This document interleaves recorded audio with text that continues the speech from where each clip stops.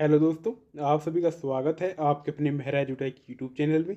आज बात करते हैं M I M S C final examination दो हज़ार बाईस के जोग्राफी के पेपर के बारे में क्लाइमेटोलॉजी डेढ़ घंटे का पेपर है मैगजी मार्क सौ अंक। स्टार्ट करते हैं पहले क्वेश्चन से। साथ में बात करेंगे यह किस यूनिवर्सिटी का पेपर है। क्वेश्चन नंबर फ़र्स्ट निम्नलिखित पर संक्षिप्त टिप्पणियाँ लिखिए। वायुमंडल का संगठन। दूसरा, नगरीय जलवायु का हाथ से होना। या जलवायु विज्ञान की नवीनतम प्रवृत्तियों की विवेचना कीजिए।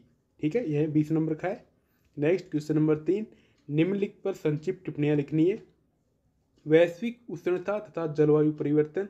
नेक्स्ट मृदा पादप जलवायु संबंध अथवा आधुनिक जलवायु विज्ञान के आधार की विवेचना कीजिए।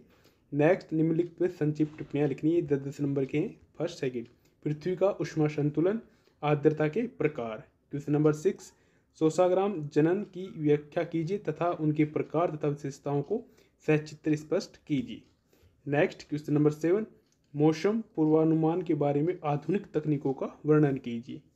क्वेश्चन आठ, कोपेन द्वारा प्रतिपादित जलवायु वर्गीकरण योजना का वर्णन करना आपको। नेक्स्ट मानसून की उत्पत्ति संबंधी विभिन्न सिद्धांतों की विवेचना कीजिए। नेक्स्ट क्वेश्चन नंबर दस, मानसून के पूर्वानुमान की समस्याओं तथा संभावनाओं की विवेचना कीजिए। ठीक है दोस्तों, ये आपका कंप्लीट पेपर हो चुका है, जो आने वाले सभी यूनिवर्सिटियों के एग्ज़ाम के लिए अति महत्वपूर्ण रहने वाला है। और यह है आपके, यानी कि मत्स्य यूनिवर्सिटी का पेपर है। ठीक है? अगर वीडियो पसंद आए दोस्तों, वीडियो को लाइक और शेयर ज़रूर करें और अन्य अपडेट के लिए चैनल को सब्सक्राइब कर लें। थैंक यू दोस्तों।